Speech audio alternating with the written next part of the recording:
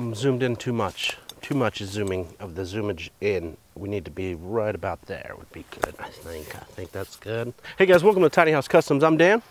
Uh, in this video, I'm going to be prepping this thing and getting it ready for paint. Now, again, I'm not a fan of this method of building a tiny house. Now, to me, the foundation is one of the most important things of a livable structure. If you don't have a solid foundation, then your house will never be absolutely perfect. A lot of people do it this way, so I'm gonna show you the best way to do it. So I did say in previous videos that I was gonna weld stuff into this. I might have said that, I can't really remember. But thinking about that and trying to stay true to a budget-friendly build, uh, I realized that that's really not a budget-friendly way to go. So I need to make this thing work for a, a, smaller budget. So what I've decided to do is build a deck on top of the trailer.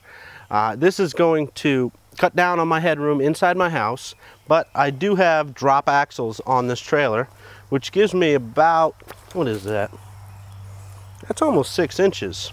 So if I build a deck on top of this, uh, I'm still gonna end up with a similar headroom that my regular house has. So what I'm gonna do, prep this thing, cut everything to length so that things work out. I'm gonna cut everything off that I don't need on the trailer, like this bracket that was on there. There's two brackets that need to get cut off and then I'm gonna go get it sandblasted. And then in the following video, I will be spray painting it. I'll be doing a coat of primer and then I'll be doing probably one or two coats of black Rust-Oleum paint. So let's do some math. You wanna do some math?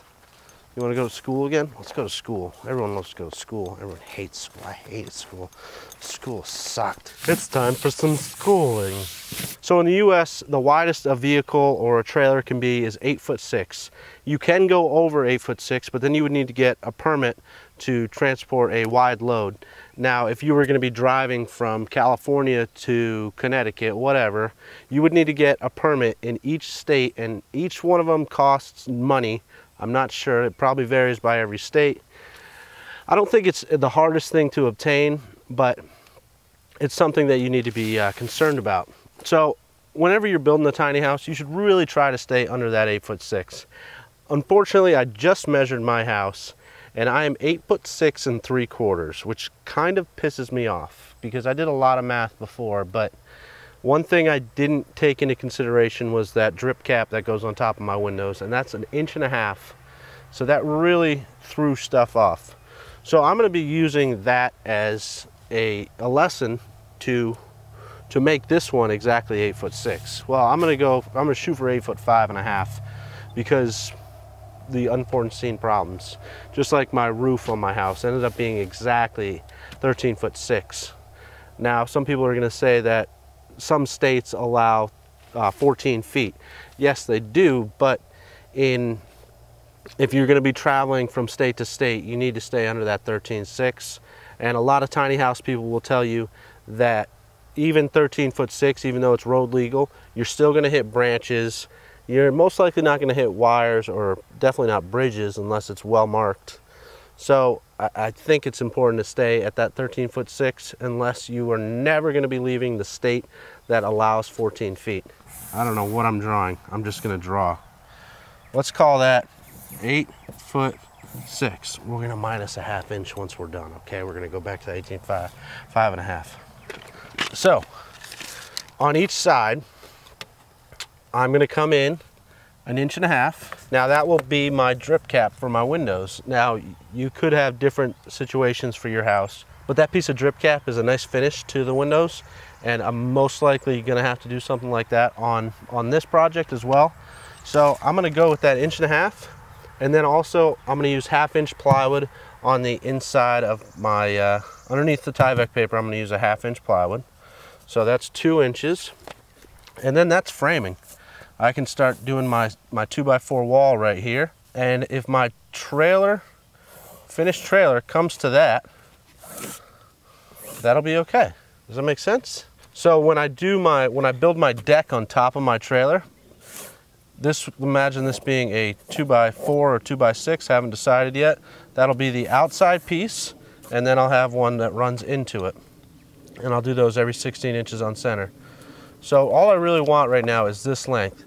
So if I have this, which is two inches, eight foot six, I'm gonna minus two, and I need to double it because both sides, so four inches, and that is eight foot two. And that is gonna be to the outside of my frame. Now I'm gonna go another half inch peanut. Now I'm also gonna go another half inch peanut. Stop it.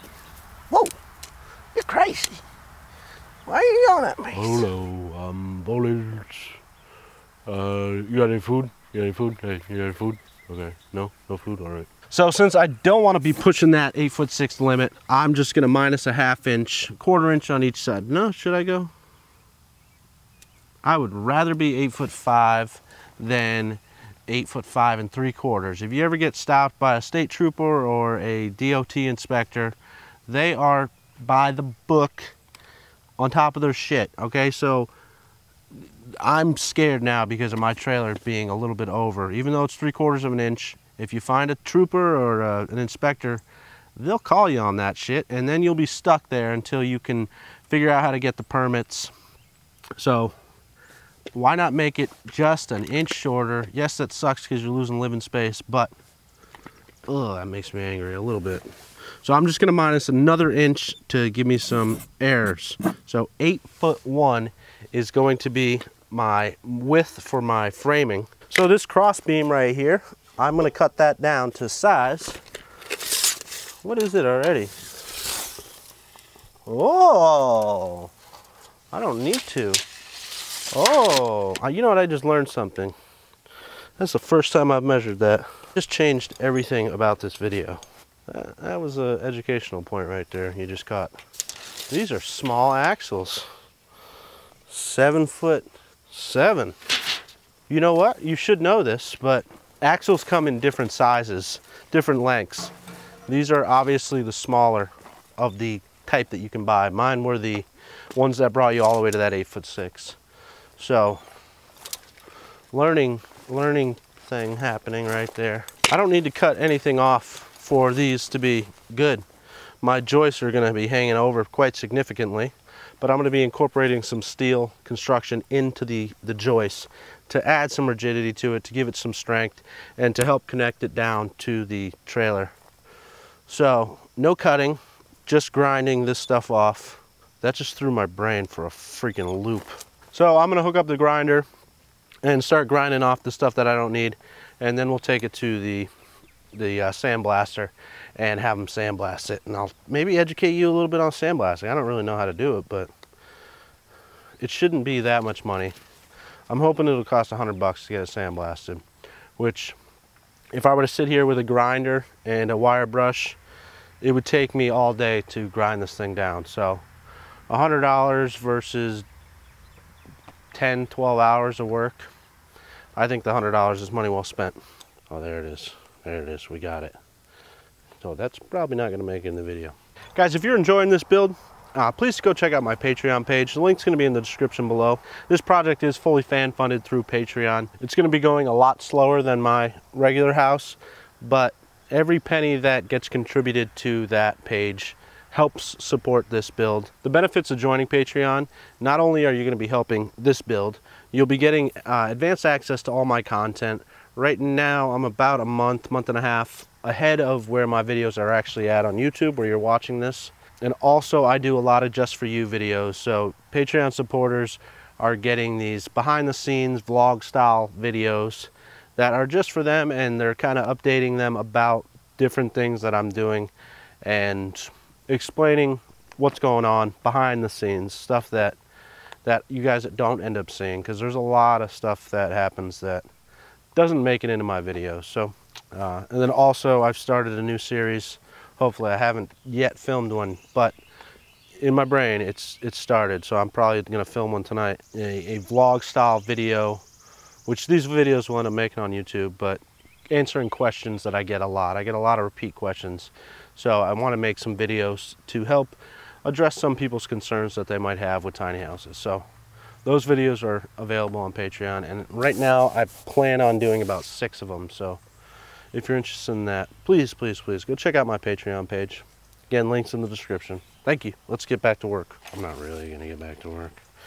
I'm kidding. I, I have other shit I got to do. So since I've realized that I don't need to cut this thing to any length, basically, it's pretty much good. Um, all I really need to do is cut these three or four things off. Right here was a propane tank holder that I tried smashing off my hammer, did not work. So I'm gonna grind this off. This was a battery holder. This is coming off. And then these are um, things that holds a stabilizing thing. I think, I don't know what they are exactly. I'm gonna try to take them off in one piece. But this and this are just getting hacked off. I'm gonna use my handy dandy angle grinder, I think. Hopefully I don't hurt myself. I saw a picture the other day that scared the shit out of me. Because I don't want to be cutting into this five inch C channel. This has got, uh, this is going to be carrying a majority of the weight of my house. So I just want to be cutting above the weld and then I'll grind down to a, uh, to the, the C channel. Don't want to break that. That's, I break a lot of those. And you broke one, good. I'm gonna get burnt, I guarantee it. That's the most rusted part of the whole trailer. So I dropped the trailer off at the sandblaster and I wasn't able to shoot any video of it because uh, he wasn't gonna get to it while I was still around. So uh, I went back 24 hours later and this is what I ended up with right here. This is absolutely perfect. Amazing. This, to get this quality with a grinder would have never happened and it would have taken at least 10 to 12 to 30, 40 hours, whatever. I don't know what it would have taken to hand grind it. So I'm pretty happy with that. And it only cost me $80 to have them blast it. So I think that was money well spent to spend the $80. If you just look online for a, a powder coater, any type of like large spray, uh, you know, body work type company, they're gonna have a sandblaster, um, probably, most likely. And that sandblaster was huge. It wasn't one of those little box ones, you know, that you do small things. Thing was massive. It was a big enough to hold this thing and you probably could something put something bigger in there. Now again, I'm not a fan of this method of building a tiny house on. This is very, very weak. Um, I'm still not sure how much those axles can support, but I'm gonna say they're about 3,500 pound axles each. 7,000 pounds is what I need to stay under.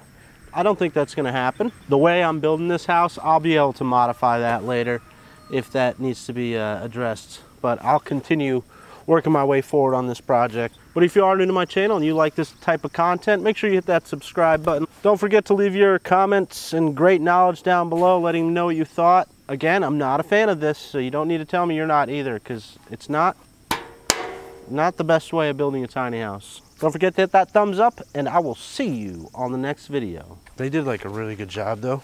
This was the only part that I noticed that they kind of missed, but it's not bad it, it's paintable. That was the only part, like that thing right there. I don't know what happened here. I woke up this morning and I was ugly. I mean, you can't be pretty every day. Some days you gotta be ugly. Not me. I'm always freaking gorgeous. All the bitches want me. Peanut, you are a bitch. Fuck you, don't call me that.